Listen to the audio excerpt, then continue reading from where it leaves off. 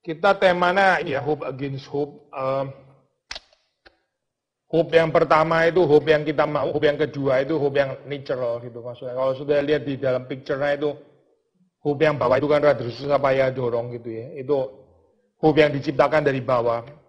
Uh, hope yang benar itu hope yang dari atas yang diberikan Tuhan. Jadi kalau kita bicara tentang virtue ya, bicara tentang apa kebajikan, itu kita selalu membedakan natural virtue atau supernatural virtue itu. Seperti kalau kita bicara tentang love, kita bisa bicara human love, maksudnya uh, natural love, natural self love, kasih kepada diri sendiri yang ya, sering kali karnal, ya, penuh dengan limitasi dan sebagainya. Dengan divine love yang dicurahkan di dalam kehidupan kita gitu. Jadi selalu ada dua macam itu ya gitu. Uh, memang bicara tentang natural virtue nggak harus selalu jahat sih gitu. Cuma ya inadequate gitu lah, saya nggak cukup gitu di dalam standarnya Tuhan itu nggak kesampaian gitu. Demikian waktu kita membicarakan tentang hope ya orang bisa saja punya satu sikap yang apa ini ya optimisme dan sebagainya. Perhaps suatu saat dia give up juga dengan sikap optimismenya karena karena ya ada batasnya lah orang ini apa optimisme terus gitu. Tapi suatu saat dia bisa jadi orang yang sinis, sarkastik atau apa atau indifferent dan sebagainya gitu. Um, itu bisa terjadi kalau kita mengembangkan konsep hope dari bawah gitu. Tapi yang dari atas itu hope yang merupakan God gift pemberian dari Tuhan ya dan itu Tuhan sendiri yang memelihara.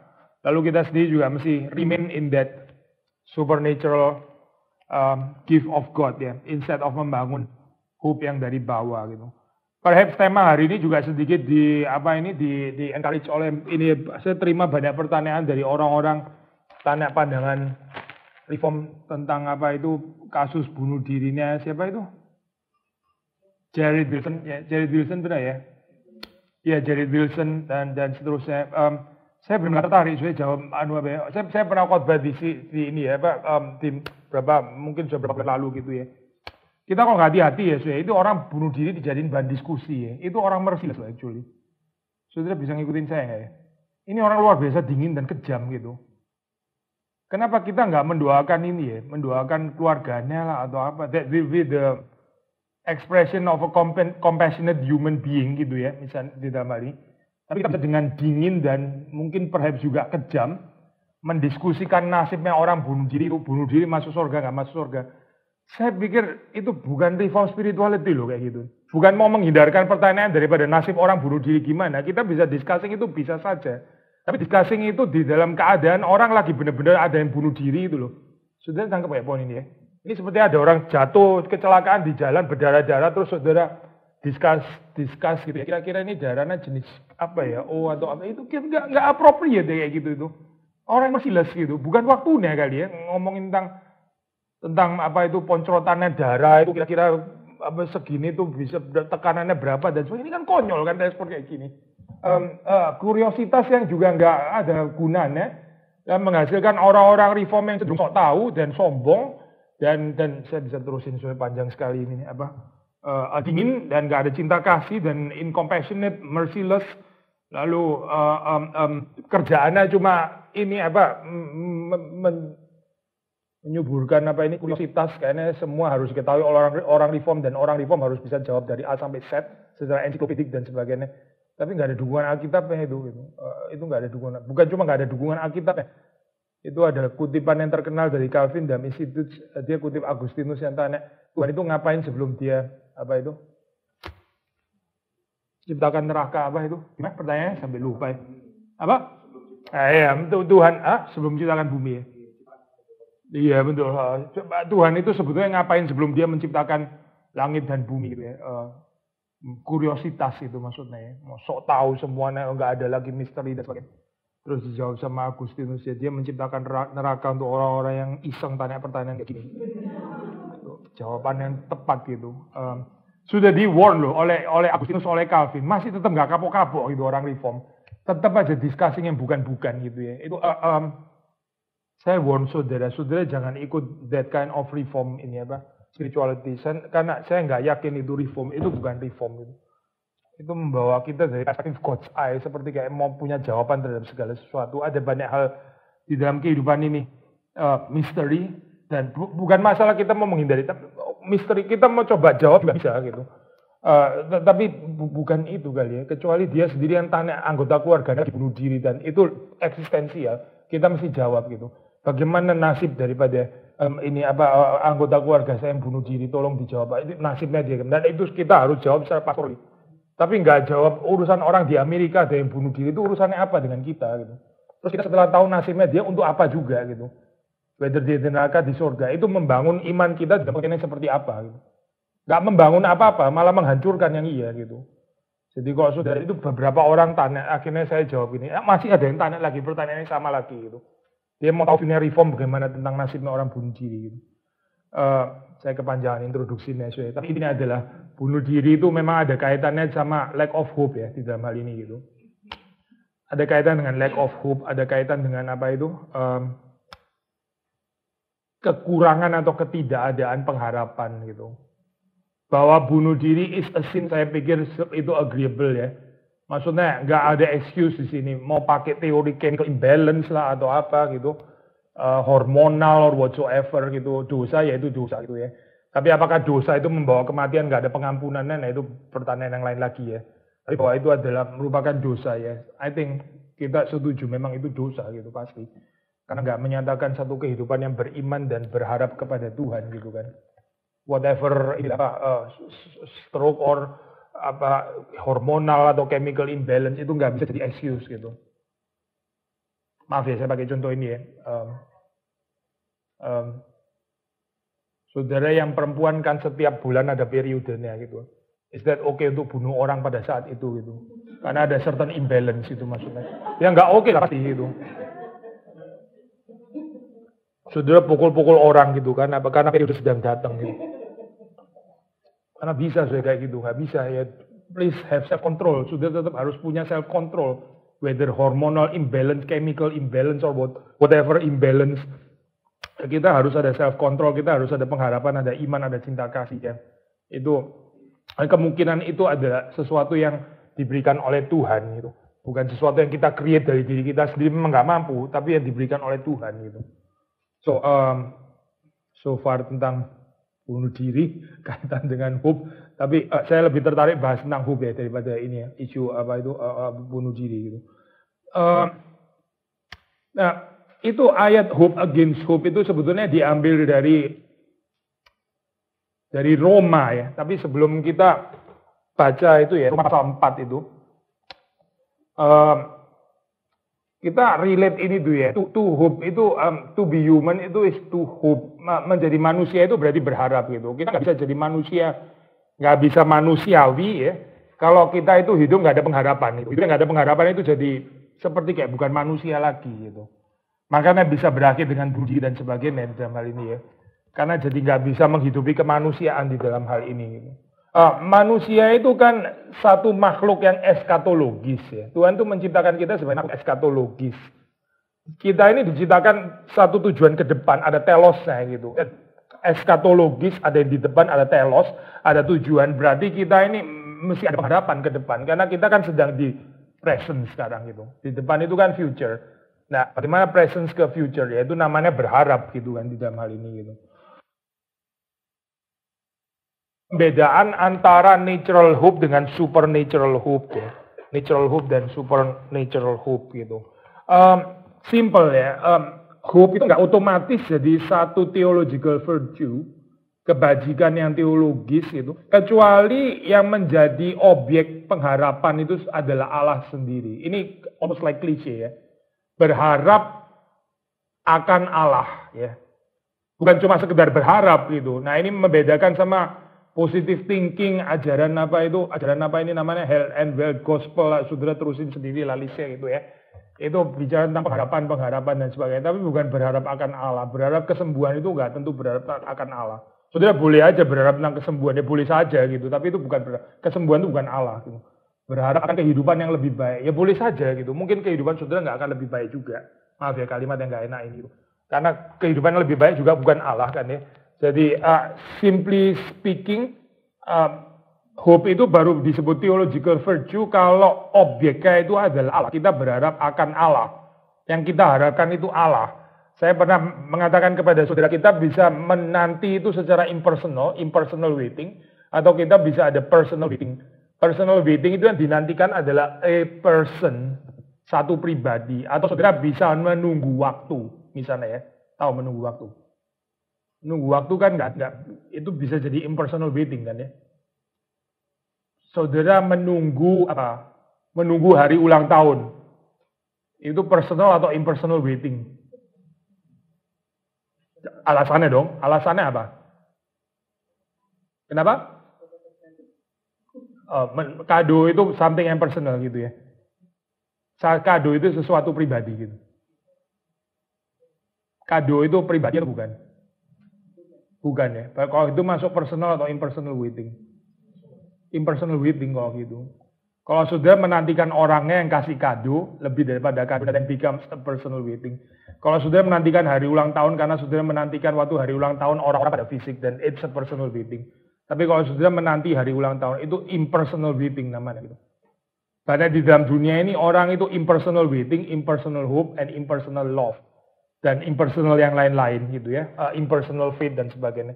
Itu bukan Kristen, itu bukan ajaran Kristen. Maksudnya kalau kita Kristen itu kita mesti pers, pers, personal aja nggak cukup gitu ya. Uh, terutama di sini uh, ya Tuhan gitu kali ini. Let's say kalau kita mulai ya Tuhan, kita menantikan Tuhan, kita berharap akan Tuhan. Sudah bisa membedakan ya, kita berharap dengan akan Tuhan sama berharap akan better quality of life. Sudah bisa bedain nggak sih dua ini? Saya berharap hidup saya ini bisa lebih muncul gitu, sama saya berharap akan Allah gitu. Ada ada bedanya ya? sangat ada kan ya. Uh, saudara berharap sakit terus sembuh gitu ya. Ini kesembuhan kan something yang impersonal. Dengan saudara berharap sembuh karena apa? Karena kalau sembuh saudara bisa beribadah. Kalau sembuh saudara bisa relate lebih baik dengan orang lain. That it becomes a personal expectation atau personal uh, hope di dalam hal ini. Gitu. Bukan cuma merely sembuh doang gitu. Saya bukan tidak boleh berharap sembuh sama sekali gitu loh. Bukan. Tapi berharap sembuh itu bisa personal, bisa impersonal gitu. Saudara berharap sembuh supaya setelah sembuh bisa makan rujak lagi. Dan it become impersonal gitu. Karena rujak is something impersonal. Itu nggak ada hubungannya dengan Tuhan, nggak ada hubungannya dengan ini apa uh, sesama gitu. Jadi um, hope itu adalah theological virtue ya. Kalau dia menjadikan Allah itu sebagai objek. Efesus 2 ayat 12 coba baca ini. Efesus 2 ayat 12. Di situ Paulus mengatakan bahwa orang-orang Efesus ini dulu tanpa Allah dan tanpa Kristus. Karena itu tanpa harapan. Coba baca 2.12.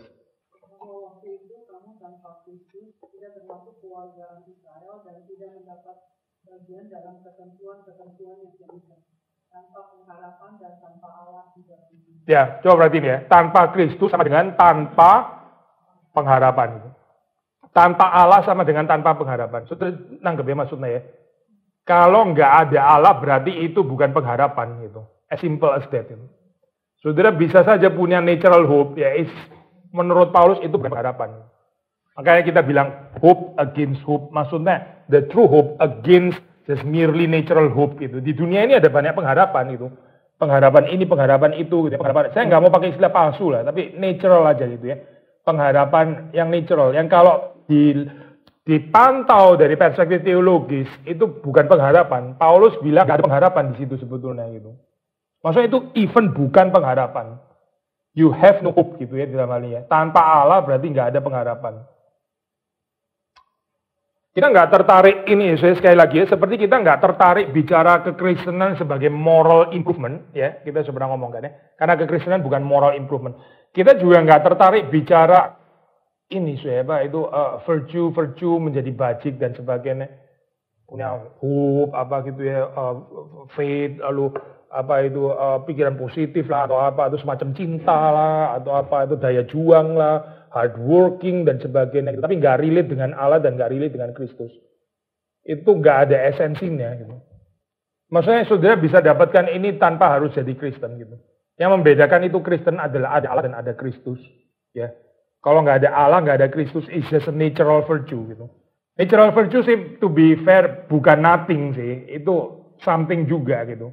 Tapi certainly nggak mencukupi standar Allah gitu. Itu adalah seperti kain kotor di hadapan Tuhan. Apalagi kita dari perspektif reformatoris ya, Peter Luther and Calvin, ya itu sangat kritikal dari pembicaraan virtue. Kalau orang Katolik kan lebih positif ya waktu bicara virtue. Saudara tahu orang Katolik itu sangat positif bicara virtue. Gitu. Kita kalau baca balik dari perspektif reform ya kita bilang itu common grace gitu. Oke juga sih. Bisa apresiatif juga sebetulnya. Nggak harus selalu pesimistik dan negatif ya.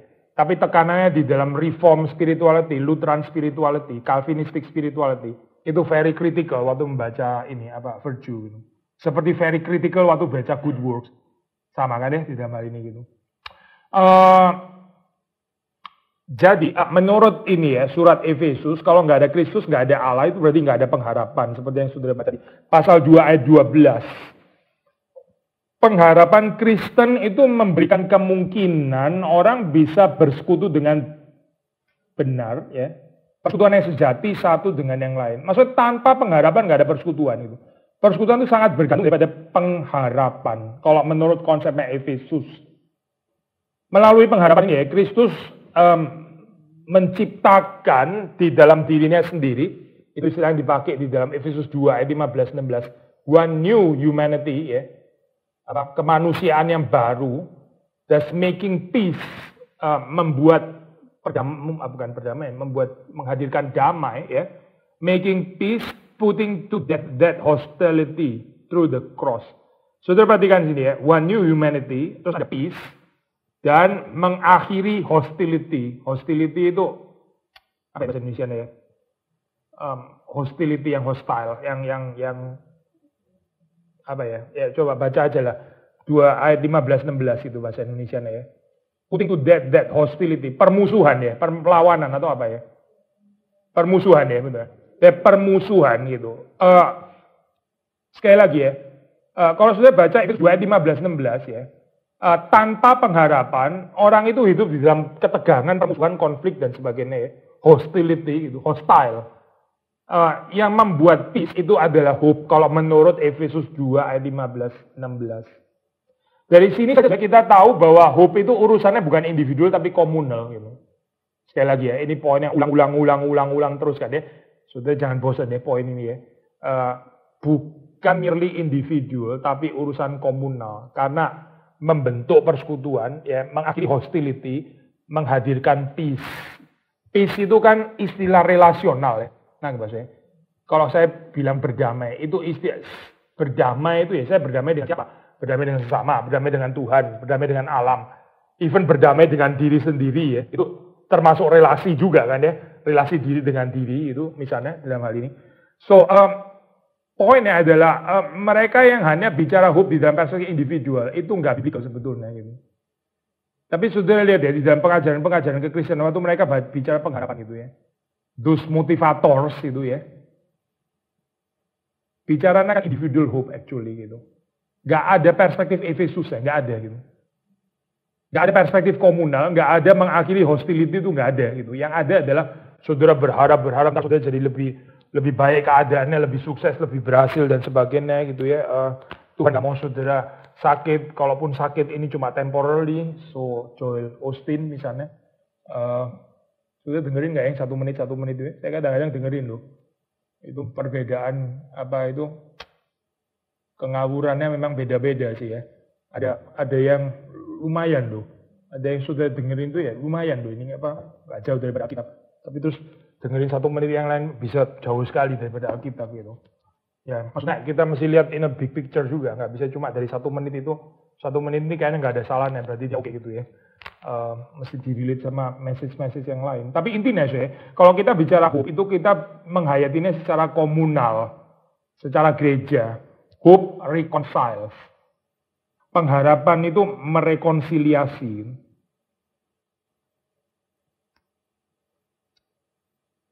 Jadi uh, Christian hope di dalam ini ya, kita mesti kontraskan dengan common atau natural virtue ya. Ada special grace, ada common grace itu kan ya. So kita juga bisa bicara tentang special virtue, maksudnya theological virtue uh, dan natural virtue. Natural virtue itu kalau dilihat itu double ini ya, double perspektif. Ada pengaruh sin di dalamnya. Tapi ya of course ada pengaruh common grace itu. Sudah bisa ngikutin ya mas ya. Natural virtue ada baiknya, ada negatif ya gitu. Seperti culture, kita ngomongin kebudayaan. kebudayaan ada pengaruh sin, ada pengaruh common grace juga gitu. So, natural virtue, maksudnya despite kita reform, nggak uh, nggak fair kalau kita melihat natural virtue itu sebagai yang melulu negatif gitu ya. Seperti kayak nggak ada anugerah umum sama sekali gitu. Uh, orang beragama lain can be very generous misalnya gitu kan ya. Uh, kita nggak harus selalu um, baca dari perspektif misalnya Allah itu munafik lah, kegenerosity-nya munafik gitu misalnya. Pembacaan negatif itu kan ya kita kita bisa juga lihat itu memang memang dia generous gitu, tapi dia bisa generous karena ada common grace dari Tuhan gitu. Tapi itu remain eksternal, nggak betul-betul lahir dari hati yang diselamatkan dan dikuduskan. Saya pikir ini jelas lah bagian ini gitu kan ya. Tapi as external virtues gitu, bukan sesuatu yang apa ini ya keluar dari dalam hati yang ditebus oleh Tuhan. Ya. Uh, Nah ini kan ayatnya ya, Roma 4 ayat 18. Ini ayat yang yang yang jadi tema kita ya. Di situ Paulus mengambil contoh Abraham ya, imannya Abraham. Uh, bahasa Inggrisnya itu hope against hope, hoping against hope. Tapi bahasa Indonesia agak lain ya terjemahannya. Coba dibandingin dengan bahasa Inggris. Um, coba bacain bahasa Indonesia dulu, terus nanti saya baca bahasa Inggris. Tolong.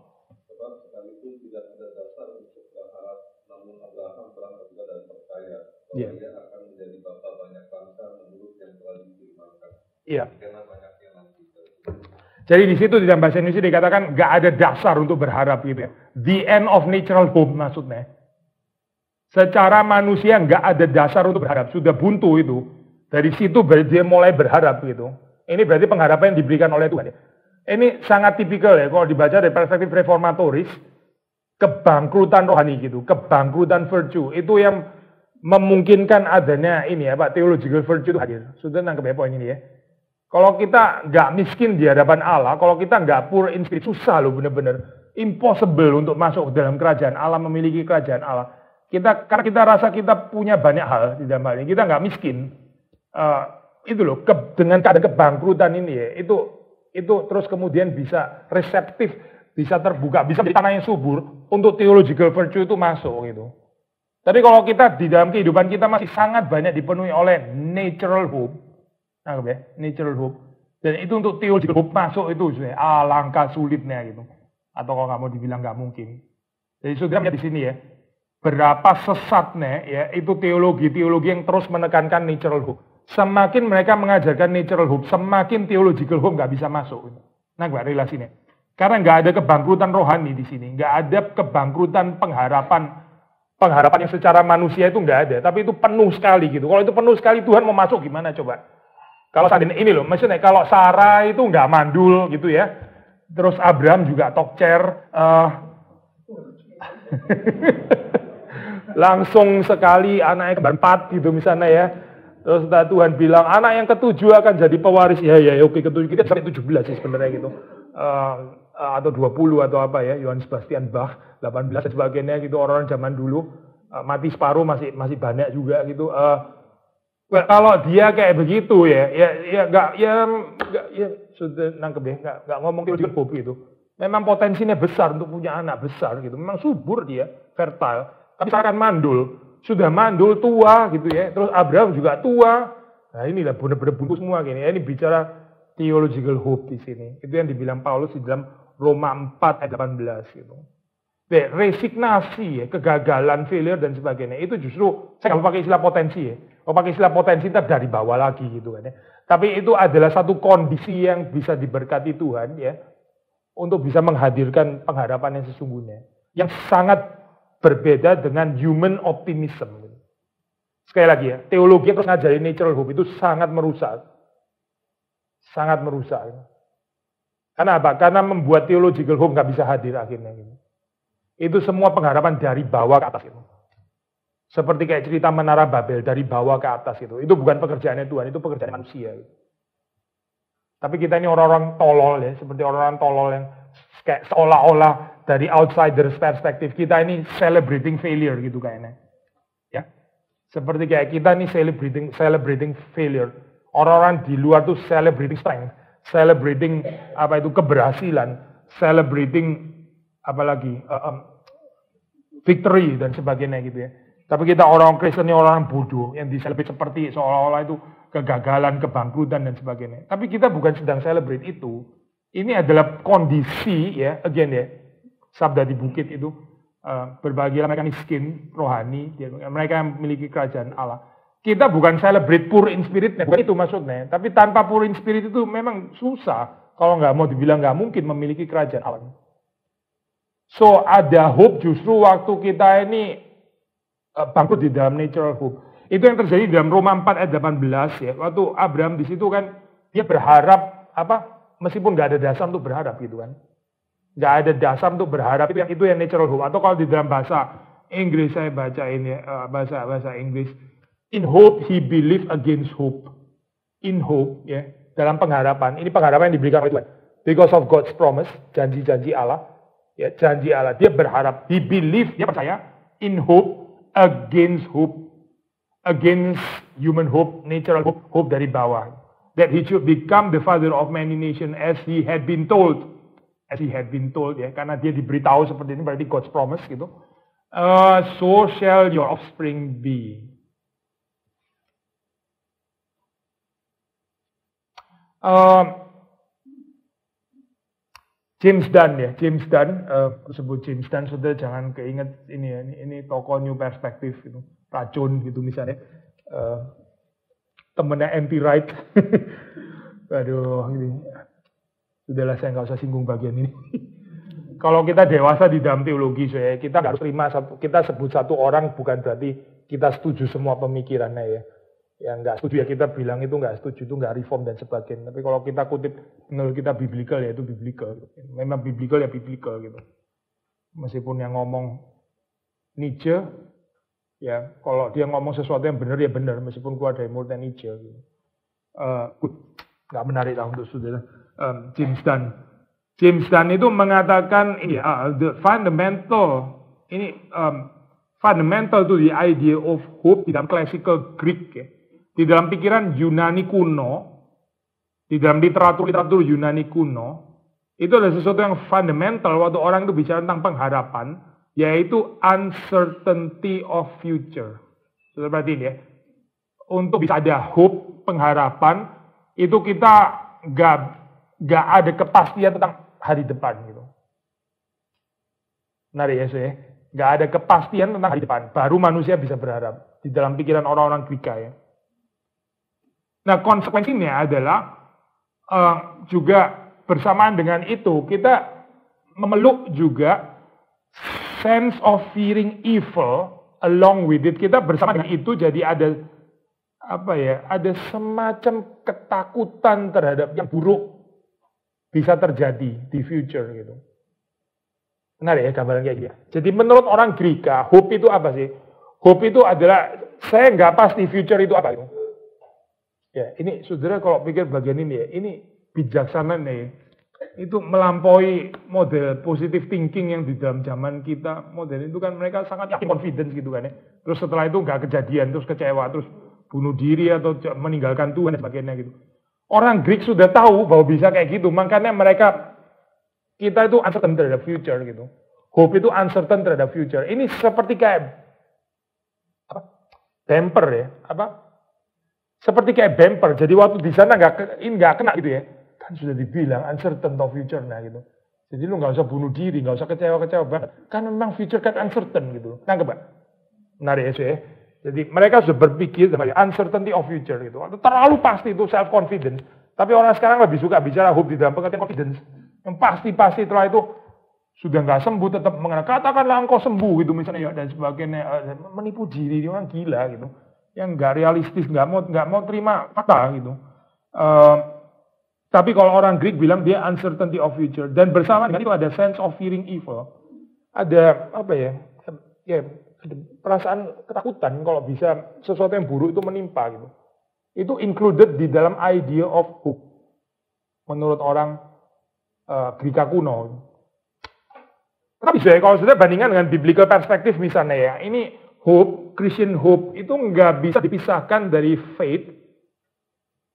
Uh, as certain belief in God's promise. Certain belief in God's promise. Jadi gini saya ada tiga variasi lah kita bikin ya. Ini ini ada let's say um, gambaran um, um, positive thinking dunia modern zaman kita gitu ya, hope itu apa? Certain, certain, certainty of future gitu ya. Kan kira-kira gitu kan ya, highly confident dan sebagainya. Certainty of future. Tapi orang Greka bilang mengingatkan hope itu adalah apa? Uncertain, uncertainty of future ya. Uncertainty of future. Uh, lalu uh, kalau di Alkitab hope itu adalah certain ya sudah perhatiin ya. Mirip ya sama yang ketiga ya. Um, certain belief maksudnya faith iman uh, certain uh, belief in God's promise maksudnya iman gitu ya. Certain belief di dalam janji-janji uh, Allah ini loh saya bedanya apa ini sama ini gitu ya. Ini pilihan ini, ini sebetulnya lebih baik daripada pilihan yang di bawah. Karena ini, ini bisa mengecewakan ini maksudnya. Tapi ini kok ya mirip sama ini. Jangan-jangan mereka sebetulnya juga biblical gitu kan ya. Yang nggak biblical sudah pasti Greek itu nggak biblical gitu ya. Ah, jangan-jangan ini juga biblical. Lalu bedanya apa? Bedanya adalah ini dari bawah. Certainty of future nggak ada dasar janji Allah. Nah, lu yakin-yakin sendiri. Tapi nggak pernah Allah menjadikan seperti itu kalau ini ada janji Allah dan saya certain di dalam hal ini gitu. Tapi certainty of faith atau belief, iman, kepercayaan itu sangat bergantung pemahaman saya tentang janji-janji Allah. Ya, kalau sudah dengerin orang, orang seperti Joel Austin dan sebagainya, itu ngawur banget pemahaman tentang janji Allah nih. Gak ada itu janji Allah kayak gitu tuh gak ada. Jadi mereka create false promise, lalu mereka peluk-peluk sendiri gitu. Ini gila gitu. Mereka create apa itu promise-promise yang dari dewa-dewanya mereka, itu mereka yakin terhadap itu janji-janji daripada dewa-dewa palsu gitu. Ya sudah, main mau-maunya gitu ya gimana. Tetapi saya kalau kita lanjutkan ya, ini uh, proposition of faith ya, ini uh, itu kan memang kita katakan certain ya, pasti untuk mereka berharap di dalam Allah. Tetapi ya, kita mesti segera menambahkan ini bukan berarti bahwa nggak ada keraguan ya. Bukan berarti nggak boleh ada keraguan yang termasuk di dalam perjalanan pengharapan kita in the journey of, of hope itu bisa ada ada doubt. Doubt itu boleh included di sini gitu. Include uh, doubt. Nah ini saudara perhatiin ya. Ini mirip sama ini, tapi ini jauh sama ini malah gitu. Sudah tahu ya, kalau di dalam positive thinking kan doubt itu kan keraguan itu kan tabu ya. Nah, kamu nggak beriman, kamu masih ragu-ragu kayak gini nggak beriman kan. Jadi nggak boleh ada tempat untuk keraguan di dalam positive thinking modern yang sudah meracuni kekristenan. Tetapi kalau di Greka, ini kan uncertain ini loh, saya ada miripnya sama doubt gitu. Um, ya kita bilang certain-certainnya tapi in God's promise. Mereka uncertainty of future. Ini semacam doubt sebetulnya. Jadi konsep Kristen tentang inclusion of doubt di dalam true Christian hope itu sangat lebih dekat dengan classical Greek ya daripada dengan positive thinking modern yang nggak memberikan sama sekali tempat untuk keraguan-raguan gitu. Saudara mesti hati-hati dengan ini ya pelajaran tentang iman yang nggak boleh ada keraguan-raguannya. Itu nggak realistis dan nggak bisa dihidupi sebetulnya. Gitu. Even Yesus itu waktu dia di Taman Getsemani kan ada ada pergumulan kan di sana. Saya nggak pakai istilah keragu-ragu ya memang ya. Uh, tapi kan ada ada pergumulan di sana, bukan nggak ada pergumulan. Itu bukan terus kenceng kayak jet melaju. Ayo salib, ayo. Kemarin-kemarin juga oke okay, gitu. Oh, enggak, enggak, enggak loh. Enggak kayak gitu loh. Uh, gambarannya itu adalah penuh dengan kegentaran seperti mau mati rasanya dan sebagainya. Kalau sudah baca kan kayak gitu kan. Itu truly human gitu dalam hal ini. So hope uh, itu di dalamnya apa ini doubt atau keraguan-keraguan itu included ya. Itu included gitu. Memang doubt ada doubt yang menghancurkan akhirnya. Ada dua macam doubt lah ya. Ada doubt yang merupakan bagian daripada true faith and true hope. Ada doubt yang you know, doubt yang orang memang orang sinis itu. Apa pun tidak ragukan terus ini. Orang apa namanya skeptis gitu ya. Uh, apa ini namanya um, ya gitulah. Keraguan-keraguan yang nyebelin dijawab apa pun dia tetap aja tanya terus gitu misalnya ya. Memang jiwanya itu nggak percaya gitu. Jiwanya itu memang sombong, nggak percaya, terus mempertanyakan. Kita nggak ngomong doubt yang kayak begini ya, bukan. Kita ngomong doubt yang masih bisa di-include di dalam ini apa uh, uh, true journey of hope atau journey of true hope.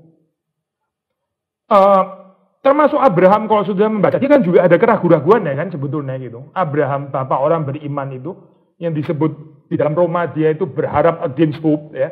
Kan ini gambaran positif berarti kan ya, berarti bisa theological hope. Tapi dia sendiri juga punya keraguan-raguannya. Tapi Roma 4 ayat 20, saudara membaca dia grew strong in his faith.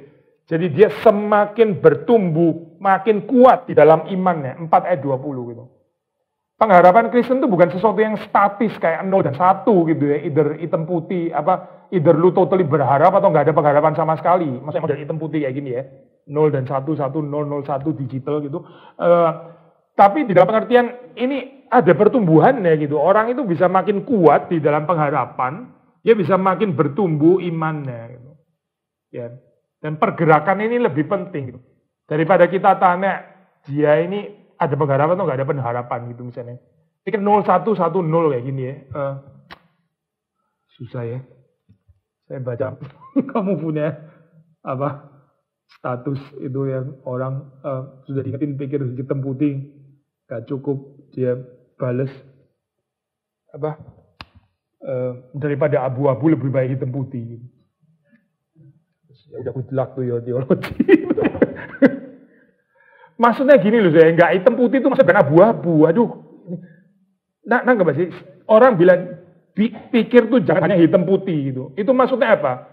Abu-abu gitu maksudnya. Suruh grey. Bukan itu kan maksudnya. Apa maksudnya? Kalau nggak hitam putih maksudnya apa? Coba jawab saya dong. Apa? Sorry. Oh iya iya bukan ke sana ada green, ada violet. Ya tapi apa itu artinya green and violet? Ini remain metaphorical, nggak ada artinya. Uh, ke, ah? Sorry?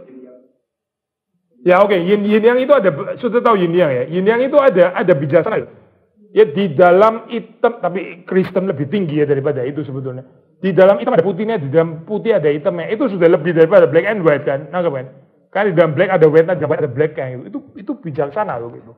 Tapi yang saya maksud adalah kalau nggak hitam putih itu maksudnya saudara mesti bisa melakukan diferensiasi gradasi. Tahu nggak sih maksudnya? Kalau orang desain itu kan nggak gelap terus harus langsung terang. Bisa degradasi gitu loh maksudnya. Kita bicara kejahatan. Kejahatan ada gradasinya gitu. Ini bukan bilang oh, orang baik atau orang jahat gitu misalnya. Kita orang jahat. Uh, berarti sama sekali tidak ada kehadiran kebaikan sama sekali. Kalau Petrus itu sama sekali baik. Dan Petrus juga menyangkal Tuhan gitu. Jadi gimana? Nangkep gak sih? Ada gradasinya gitu. Nah orang yang dewasa itu pikirnya itu bukan hitam putih, tapi dia bisa membedakan gradasi gitu maksudnya. Nah, gradasinya juga nggak mulus gitu. Kan ada bercak-bercak, bercak dan bukan seperti ini yang cuma satu titik gitu ya. Padahal ada seratus titik gitu maksudnya di dalamnya. Dan di sebelah mana titiknya gitu. Di dalam bidit itu ada seratus titik putih. Dan titik putihnya itu di sebelah mana. Nah, kita mesti bisa melakukan pemetaan. Ya itu orang dewasa gitu. Tapi lihat semuanya hitam, semuanya putih ya sudah susah ngomong memang gitu ya. Jadi kita belajar sabar dalam hal itu. Si belajar sabar dan lebih mengasihi. Mengasihi orang yang ngeyel memang susah ya, susah. susah. Um, balik lagi ya sini ya, Pak. Um, bahkan Abraham pun itu ya dia itu bertumbuh ya, bertumbuh ya. Bertumbuh itu kan berarti degradasi gitu kan ya. Dia makin lama makin kuat, makin ini nggak bilang kuat, lemah, atau ada pengharapan, ada pengharapan ya uh, hitam putih 1001 gini. Tapi dia tuh semakin menjadi orang yang berhadap dan beriman. He grew strong in his faith. Roma 4 ayat 20. Lagi pula saya, kita orang percaya itu kan memang bukan berharap kepada pengharapan kita sendiri. Yang subjektif itu kan ya. Kita kan berharap kepada objective promise of God ya. Bukan subjektif hope-nya kita. Nah, enggak sesuai poin ini ya. Sekali lagi ya yang disebut pengharapan itu kan kita bukan berharap terhadap pengharapan kita sendiri gitu. Ini ada kebanyakan di dalam positive thinking apa itu faith healers dan seterusnya ya. Kalau sudah perhatiin itu bergantungnya itu bukan kepada Tuhan, bergantungnya kepada imannya mereka gitu. Itu berarti saya beriman kepada iman namanya. Dalam kita nggak ada loh beriman kepada iman itu nggak ada gitu. Berharap kepada harapan itu, itu apa maksudnya itu? Itu pengharapan impersonal. Kita berharap kepada Allah yang berjanji. Berharap pada janji-janji Allah gitu kan ya bukan berharap kepada pengharapan saya sendiri yang kuat gitu. Yang satu itu tadi, yang ada ya, yang yang putih, yang bukan yang hitam gitu. Jadi uh, kita anyway nggak berharap pada pengharapan itu sendiri, tapi kita berharap kepada Allah. Dan karena itu, karena kita nggak berharap kepada pengharapan, Jadi boleh include doubt. Di dalamnya boleh ada include ini apa? Keraguan-raguan sebagai bagian daripada perjalanan iman atau perjalanan pengharapan. Lalu berikutnya Paulus masih di dalam Roma ya, Roma pasal 5 di situ uh, dia mengaitkan antara hope dan suffering ya, uh, mengaitkan antara apa ini uh, uh, uh, pengharapan dan penderitaan. Waktu dia menulis penderitaan itu menghasilkan endurance, menghasilkan apa? tahan uji ya bahasa Indonesia ya. Apa? ketekunan ya. Ketekunan menghasilkan karakter, menghasilkan apa? Apa, apa bahasa Indonesia ya? Bukan karakter kan apa ya? Bahasa Inggrisnya endurance produce karakter, tapi bahasa Indonesia pakai apa ya? Maksudnya Roma 5, 3, 4. Roma 5 ayat 3 dan 4. Hah? Karakter. Apa? Karakternya sebenarnya uji menarik. endurance adalah ketekunan. Oke. Okay. Ya, bahasa Inggris suffering produce endurance. Endurance produces character, ya. Lalu character produces hope. Ya, sudah perhatiin ya.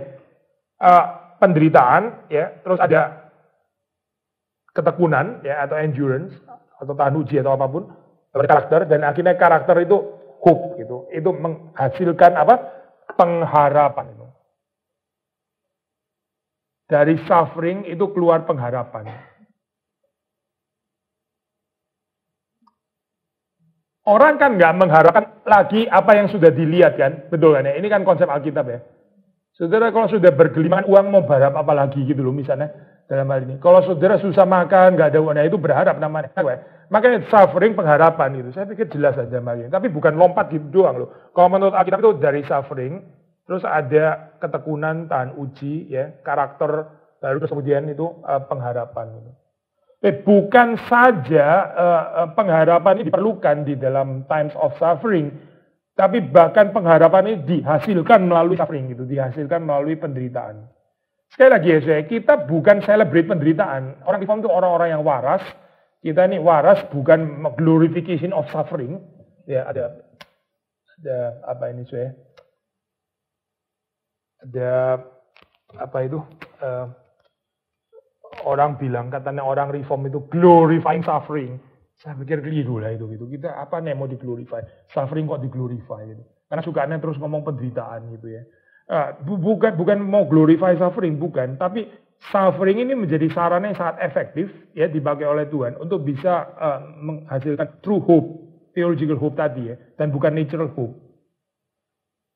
Uh, jadi hope yang natural atau pengharapan yang natural itu bisa mengecewakan manusia. Karena uh, proposisi imannya itu nggak bisa pasti ya. Jadi malah akan semakin memperberat penderitaan sebetulnya gitu.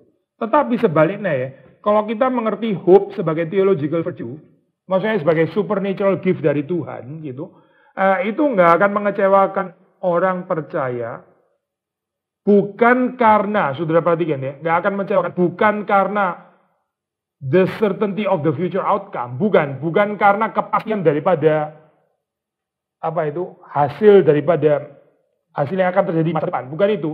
Tetapi kalau menurut Alkitab, because of the certainty of God's love. Ya, bukan certainty of the outcome, future outcome, bukan. Tapi certainty of kasih Allah kasih Allah yang dicurahkan ke dalam hati kita ya melalui Roh Kudus. Itu Roma ayat Roma 5 ayat 5 ya. Jadi pengharapan itu tidak mengecewakan karena apa? Kita nggak bilang karena future outcome itu sudah pasti gitu. Bukan dia ke sana oleh Paulus. Roma 5 ayat 5 itu pengharapan tidak mengecewakan. Karena apa? Karena kasih Allah itu dicurahkan ke dalam hatimu. Jadi yang membuat nggak mengecewakan itu bukan kepastian future outcome gitu. Ini yang membedakan kita dengan ini loh saya dengan yang di sini ya. Ini kan ya, ini kan kepastian future outcome kan actually gitu, ajaran positive thinking. Tapi kalau menurut Paulus, yang membuat kita nggak mengecewakan itu adalah kasih Allah. Sudah masih ingat di dalam speak saya saya bahas ini ya tentang penderitaan. Yang menakutkan dalam penderitaan itu bukan penderitaannya sendiri gitu. Bukan being tortured di dalam penderitaan, bukan. Tapi yang paling menakutkan di dalam penderitaan itu adalah apa? Tidak dikasihi gitu. Itu yang paling menakutkan di dalam penderitaan itu. Makanya Paulus bisa posting, ya. Apa sih yang akan memisahkan kita dari kasih Allah, ketelanjangan, kemiskinan. Itu dia list of penderitaan sebetulnya gitu. Gak ada yang bisa memisahkan kita daripada kasih Allah. Maksudnya mau penderitaan apa pun gitu ya. Ibaratnya itu silakan, bukan silakan masukis ya, bukan. Tapi tapi gak akan, gak, gak, gak, gak penting lah gitu. Mau penderitaan apa gitu ya. Karena kasih Allah itu gak bisa digoyang gitu. Jadi eh, jangkarnya itu adalah kasih Allah. Bukan certainty of future, bukan gitu. Orang yang meletakkan pengharapan kepada certainty of future itu akan kecewa gitu. Karena ini menggeser daripada kasih Allah gitu. Ya, saudara punya certainty of future, tapi saudara gak dikasih oleh Allah. Waduh itu, saudara pikir saudara yakin akhirnya benar-benar terjadi seperti yang saudara mimpikan atau saudara harapkan ya. Tapi gak ada kasih Allah. Itu lebih garing daripada masuk ke dalam satu masa depan yang saudara nggak sangka akan seperti itu, katakanlah event penderitaan, tapi ada kasih Allah. Jangan menukar kasih Allah dengan kepastian kepastian masa depan coy. Itu sangat nggak aman gitu. Orang yang cuma berharap dengan kepastian masa depan. That kind of impersonal hope yang menyingkirkan dirinya dari kasih Allah. Itu sangat nggak aman. Lebih baik dikasih Tuhan dengan masa depan yang nggak pasti gitu ya ibaratnya. Tuhan saya bukan nggak pasti ya tentang masa depan kita, tapi kita nggak punya kepastian tentang masa depan itu. Tapi saya punya kepastian Allah itu mengasihi saya, itu lebih baik daripada saya punya kepastian masa depan, tapi malah nggak pasti Allah apakah masih mengasihi saya atau tidak gitu.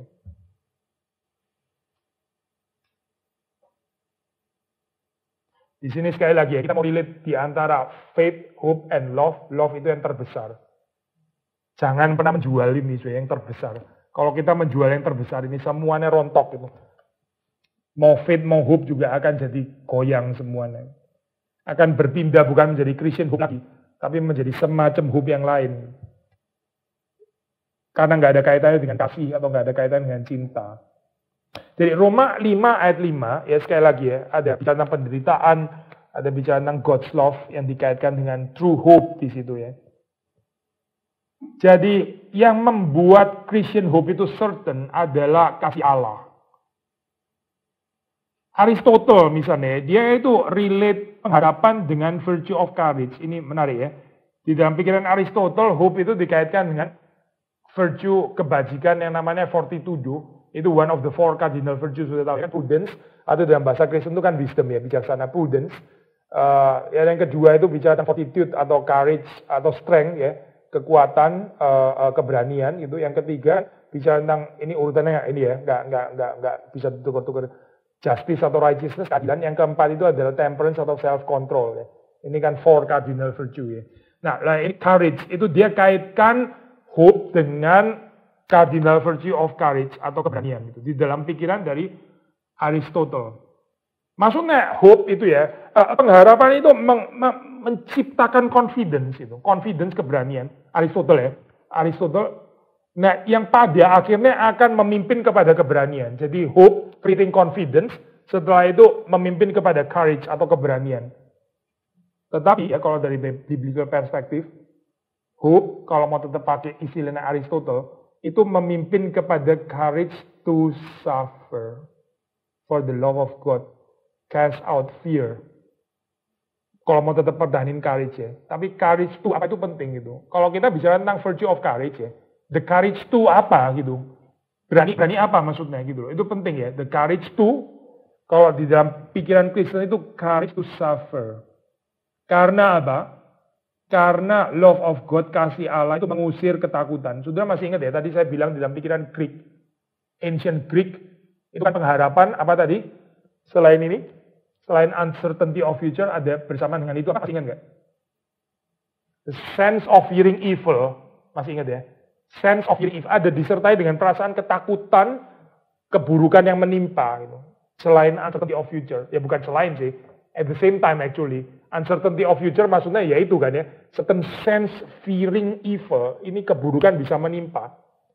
Makanya kita masih berharap hal ini. Nah, kalau di dalam kekristenan justru kita itu berani menderita karena kasih Allah itu menyingkirkan menyingkirkan ketakutan. Yang berperang terhadap ketakutan, ya, fearing evil, itu adalah kasih Allah. Jadi, kasih Allah itulah yang memberikan kepada pengharapan itu true biblical Christian courage. Ya. Kalau di Aristotle nggak ada pembicaraan tentang kasih, nggak ada. Kasih ilahi nggak ada. Itu karis dari bawah. Sedikit mirip sebetulnya pikiran Aristotle sama positive thinking ya. Oh, itu kan dari bawah gitu. Ada pengharapan, kita berharap, kita jadi lebih confident gitu ya. Nggak minder apa. Berharap terus habis itu lebih ada keberanian dan sebagainya gitu ya. Tapi itu semuanya dari bawah. Gitu. Natural courage, natural confidence, and natural hope. Tapi yang membedakan Christian hope itu adalah karena ditopang oleh kasih Allah, kasih ilahi dari atas. Yang ini nggak dimengerti oleh dunia, nggak dimengerti oleh uh, filsafat gitu. Maksudnya gini sih, uh, kita mesti hati-hati ya. Jangan ketukar theological virtue dengan natural virtue. Natural virtue itu abundance di dalam dunia ini banyak sekali gitu ya. Uh, saya pernah ini kan pernah pernah pernah berikan contoh kepada saudara saudara jangan mistaken antara true Christian perseverance dengan hardworking yang itu. Nah, nangkep gak sih? Hardworking saudara seperti kayak sangat apa itu uh, um, punya ketekunan di dalam kerja dan sebagainya. Banyak culture menekankan hardworking. Saya barusan dari Jepang, saudara di Jepang orang juga hardworking gitu kan ya. Um, sampai nggak pulang dari kantor dan sebagainya. Besok pagi-pagi dari sana. Dari kemarin ya maksudnya di sana gitu. Uh, tapi tiba-tiba di MRT, pup, mati gitu. Itulah apa ya itulah hard working gitu maksudnya. Itu natural hard working. Tapi true perseverance di dalam Kristus itu maksudnya apa gitu? Lebih dari sekedar hard working. Termasuk perseverance to rest. Ini agak ini ya, perseverance perseverance to rest gitu. Tapi termasuk juga perseverance to forgive others gitu. Ada orang yang hard working ya, hard working, tapi dia nggak ada nggak ada courage untuk forgive others. Dia nggak ada apa ini ya. Dia nggak nggak kuat enough untuk mengampuni sesama. Mau tes benar-benar hardworking. Mau benar-benar tes perseverance. Coba persevere untuk mengampuni orang yang melukai saudara. Gitu. Itu baru kita bicara tentang Christian perseverance. Tapi kalau saudara perseverance coba perseverance kerja dari pagi sampai malam, ya itu banyak di dunia. Gitu. Di dunia ya, ya oke okay lah itu lebih baik daripada malas-malasan benar gitu ya. Ini mirip seperti kayak saya ketukar antara kemalasan dengan spiritual rest. Nah, Pak, saya kira-kira. Ketukar Christian perseverance sama natural hardworking. Seperti ketukar sama, memang saya dasarnya orang males-malesan. Terus saya bilang, saya sedang menikmati janji Tuhan. Dia memberikan kepada kita true rest. Padahal males maksudnya gitu. Ini ketukar antara rest dan laziness dan spiritual rest. Itu ketukar namanya gitu. Jadi kita bisa banyak ketukar seperti ini loh saya. Kita pikir itu Christian hope, padahal itu just natural hope yang nggak ada kasih Allah ya, nggak ada pembicaraan kasih Allah, nggak membicarakan kasih Allah dan nggak ditopang oleh kasih Allah. Itu natural hope. Dan manusia itu punya potensi seperti itu. Jangan salah, manusia itu sangat bisa berharap dari bawah itu bisa loh. Tuhan kasih itu juga gitu. Tapi semakin dia kayak begitu, semakin dia jauh daripada theological virtue sebenarnya. Uh, kalau Roma kan bilang apa itu hope yang dilihat itu bukan hope ya. Roma 8 ayat 24 itu berarti hope itu uh, sesuatu yang apa itu uh, gaze melihat beyond the visible realm ya seperti um, Abraham gitu. Uh, hope juga ada kaitannya dengan menanti dengan kesabaran Roma 8 ayat 25 menanti dengan kesabaran ada satu kutipan yang bagus ya ini apa um, waktu Roma itu mengaitkan ini ya mengaitkan antara hope dengan dengan groaning. Tahu groaning ya? Groaning itu di mengeluh ya? Uh, di kitab Roma itu loh. Karena ada uh, seluruh alam semesta itu groan gitu kan mengeluh ya keluh kesah gitu ya dengan keluh kesah. Uh, itu termasuk bagian daripada true hope. Interestingly kalau di dalam teologinya Paulus. 8 ayat 26 coba bacain. Uh, Roma 8 ayat 26.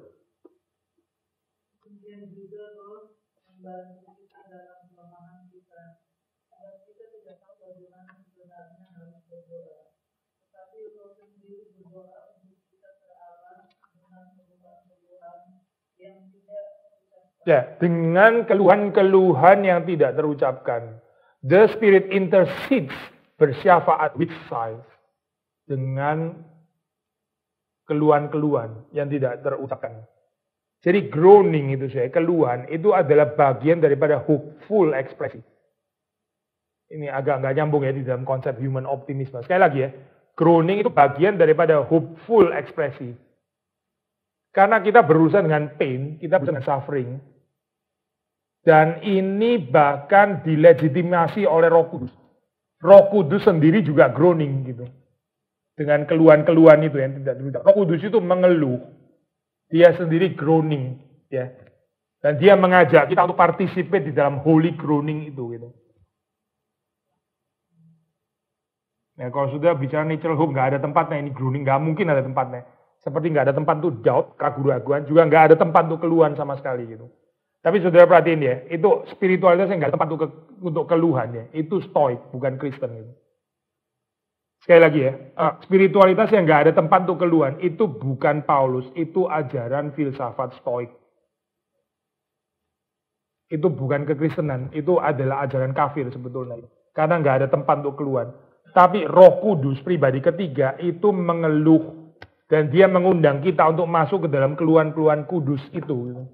Baru kita bisa bicara tentang true hope di dalamnya. Ini sangat realistis membicara tentang hope. Uh, jadi uh, Paulus itu tidak memberikan solusi instan terhadap problem of suffering. Gitu. Gak ada solusi instan. Tapi mengundang kita untuk lamen, untuk meratap, mengeluh groaning tadi ya. Jadi lamenting, ratapan itu adalah jalan untuk menjadi semakin manusiawi di dalam dunia yang sudah jatuh ini. Dengan belajar meratap.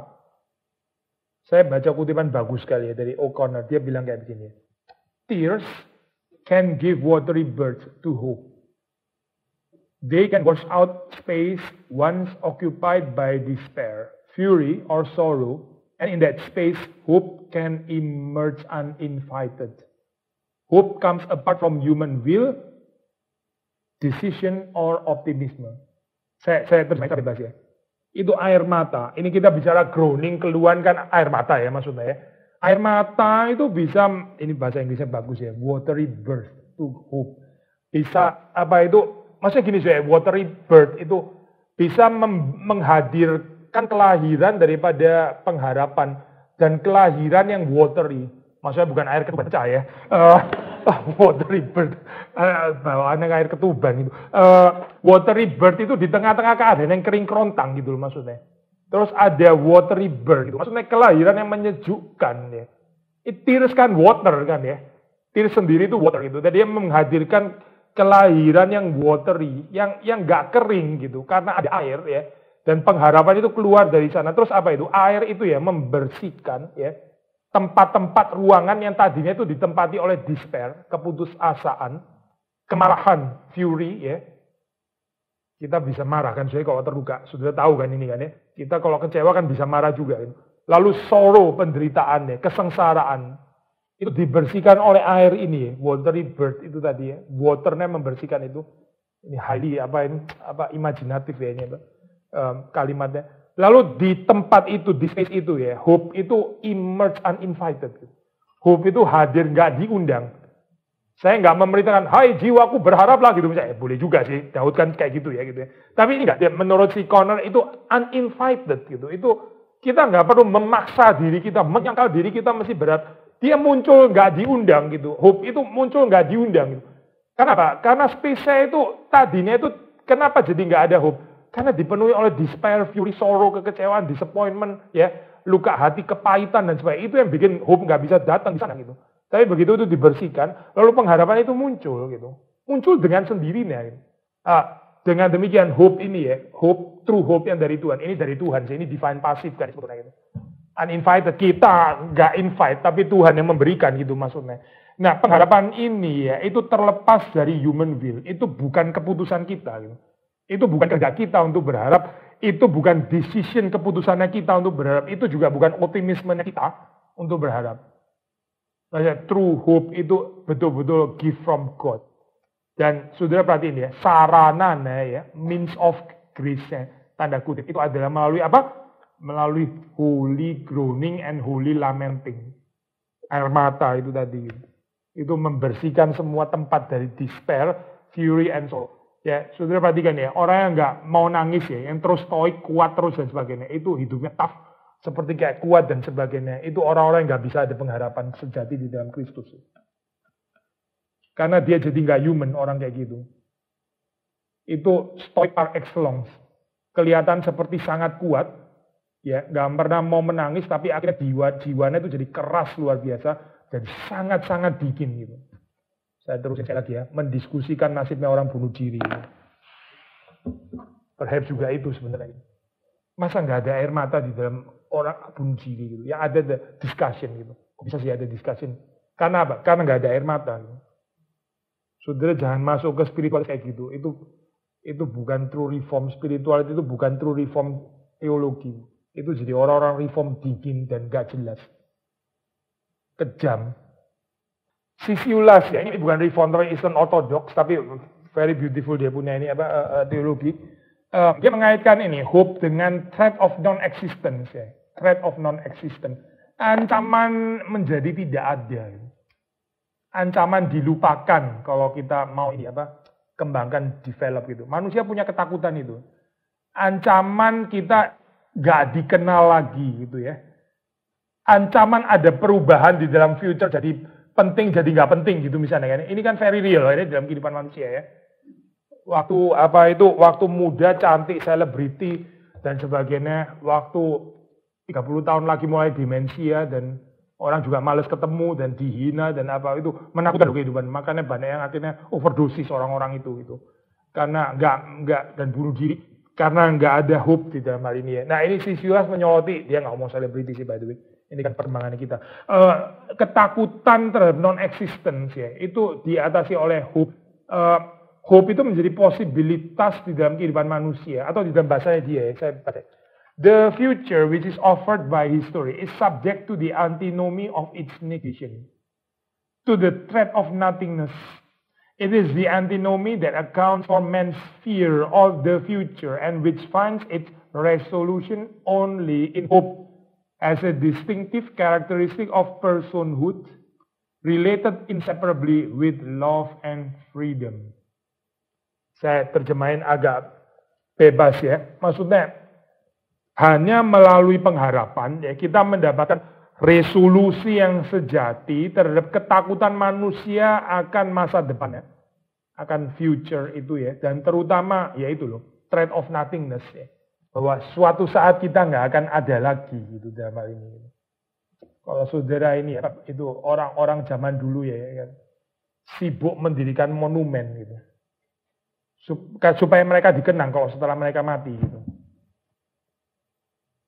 Karena mereka percaya setelah mati satu mereka habis. Jadi mereka mesti mempersiapkan dari bawah supaya nama mereka boleh dikenang terus gitu. Itu loh, ini threat of nothingness namanya.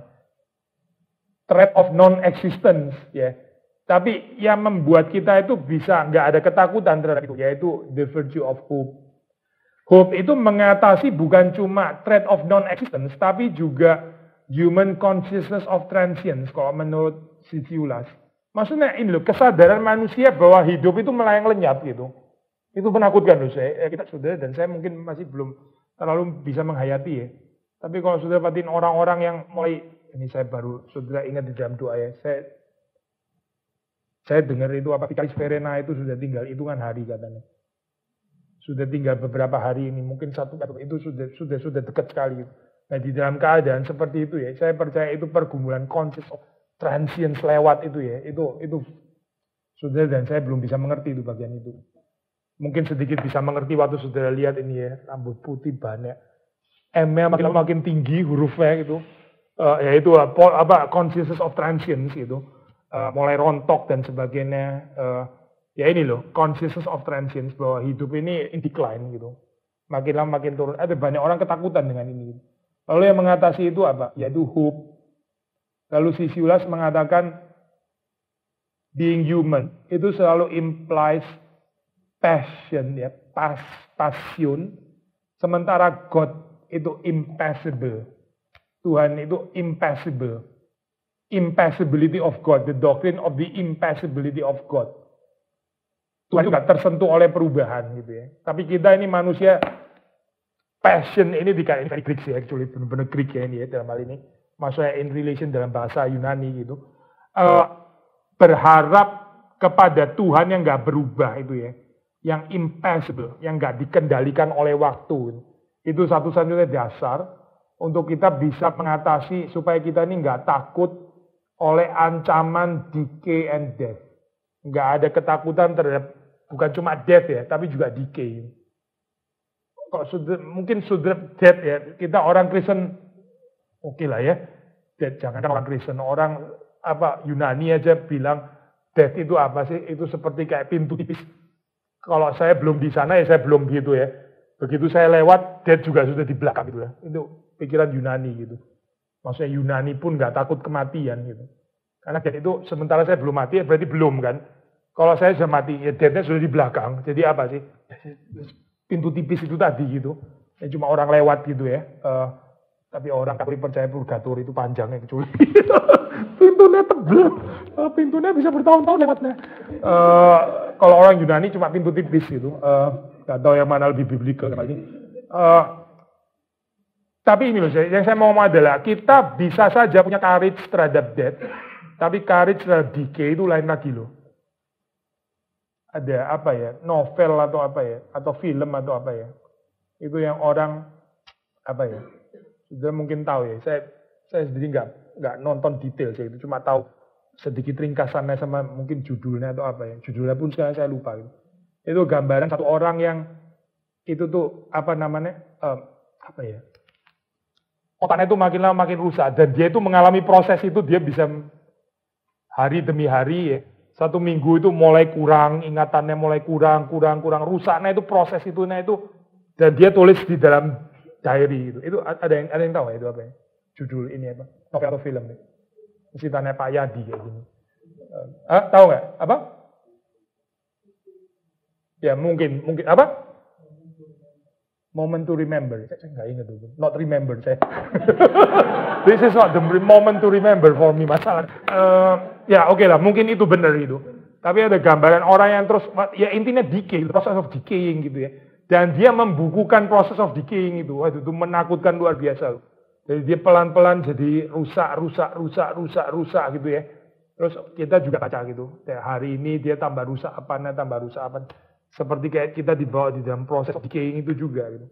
Nah, menurut Sisyulas, ya, yang, menga, yang mengatasi ini, itu adalah virtue of hope, gitu, adalah pengharapan.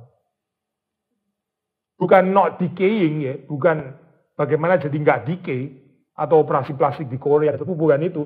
Tapi tapi hope gitu ya, akan decay anyway gitu, akan decay anyway, tetap akan mengalami decay. Uh, kalau dari perspektif Roma Katolik, uh, Ratzinger ya, uh, Ratzinger, dia juga mengaitkan ini apa? Uh, um, um, uh, hope itu menyempurnakan iman ya di dalam janji-janji Allah. Ini saya pembacaan ekumenikal ya, bukan pembacaan polemikal maksudnya gitu. Nah, interesting dia membedakan itu true Christian faith um, bedanya Christian faith dengan romanticism dan platonisme itu menurut Ratzinger terletak di dalam virtue of hope yang membedakan kekristenan, iman Kristen dengan romantisisme dan platonisme itu adalah hope itu adalah the the true hope. Uh, Marcel ya, Katolik Gabriel Marcel, filsuf Katolik ya. Uh, dia dia mengajarkan bahwa the final guarantor of faith yang menggaransi iman itu pada akhirnya adalah hope adalah pengharapan. Hope itu adalah kebajikan yang memberikan kepada manusia itu kekuatan untuk bisa tetap faithful, bisa tetap beriman, bisa tetap setia, dan untuk mencintai secara continuously. Ya. Itu itu adalah hope itu. Hope itu yang bikin endurance itu hope dia bisa terus mencintai dan bisa terus setia. Gitu. Orang nggak bisa setia tanpa hope. Bahkan ini pastornya seperti kembali ya. Sebetulnya biblical juga untuk mengatakan orang nggak bisa terus hoping kalau nggak terus mencintai itu ya. Tapi sama Marcel vice versa, yaitu orang nggak bisa terus mencintai kalau dia nggak terus berharap dalam hal ini. Yang memungkinkan manusia itu bisa terus mengasihi, yaitu adalah kas, adalah adalah pengharapan. Uh, di sini uh, di, di, di, di, dikontraskan dengan apa ya um, resignasi, failure, solitude, solitude in a in a worse sense. Uh, sebagai lawan katanya hope atau di dalam bahasanya Marcel saya kutip ya. No doubt the solitary consciousness can achieve resignation dalam kurung stoicism menarik ya ini resignation stoicism But it may well be here that this word actually means nothing but spiritual fatigue, kelelahan spiritual. For hope, which is just the opposite of resignation, something more is required. There can be no hope that does not constitute itself through a we and for a we. Maksudnya aspek komunal gitu. Uh, nggak akan ada hope yang nggak mendirikan dirinya sendiri itu melalui kami. Melalui kami dan bagi kami. I would be tempt, I would be tempted to say that all hope is at the bottom choral atau komunal lah istilah sederhana gitu ya. Choral maksudnya nyanyi bareng-bareng gitu. Uh, hope itu sekali lagi ya, sifatnya itu komunal gitu. Jadi kita nggak bisa cuma bicara individual. Hope itu sulit itu. Dengan demikian, uh, orang yang menolak kehidupan komunitas itu menjauhkan dirinya dari pengharapan yang sejati. Orang yang menolak kehidupan berkomunitas itu menjauhkan dirinya dari hidup pengharapan yang sejati. Um, mungkin masih ada dua lagi sih, satu perspektif Lutheran, satu perspektif Reform. Tadi kan Eastern Orthodox Katolik, Lutheran sama Reform. Uh, Lutheran, um, Kierkegaard ya, Kierkegaard dia membicarakan Christian hope itu transcends understanding. Ini tipikal ini ya, tipikal Kierkegaard uh, hope itu melampaui pengertian. Uh, kutipan dari Kierkegaard, to relate oneself expectantly to the possibility of the good is to hope which cannot be any temporal expectancy but is an eternal hope. Jadi poinnya Kierkegaard ya, hope itu eternal, nggak boleh temporal gitu. Dan karena itu ya, nggak bisa terarah pada hal-hal temporal. Karena natur dari pengharapan sejati itu eternal. Jadi kita nggak bisa berharap terhadap earthly things kalau menurut Kierkegaard ya. Earthly atau natural hope itu kontras dengan Christian hope. Earthly atau natural hope itu sering kali mengecewakan gitu, tapi eternal hope itu nggak mengecewakan. Ya. Uh, di dalam hal ini um, Kierkegaard juga kutip Paulus, maksudnya Christian hope itu adalah is against hope Because according to that purely natural hope, there was no more hope. Purely natural hope, there was no more hope. Consequently, this hope is against hope. Eh penjelasan saya itu sebetulnya ini ya, pinjam apa, pinjam um, filsafatnya Kierkegaard. Salah satu cara yang menjelaskan dengan sangat mudah ya, hope against hope. Maksudnya true, true Christian hope itu against natural hope gitu. Istilah natural hope ini muncul di dalam tulisannya Kierkegaard. Uh, tipikal Lutheran di dalam hal ini ya, tipikal reformatoris, waktu bicara tentang hope, itu uh, sekali lagi konsepnya ya, true theological virtue, termasuk theological hope, itu bisa muncul, hadir precisely dari kebangkrutan natural virtue. Sudah masih bisa ngikutin saya. Kebangkrutan daripada kebajikan-kebajikan yang alamiah itu ya. Justru itu yang memungkinkan ada Christian virtue itu bisa muncul gitu.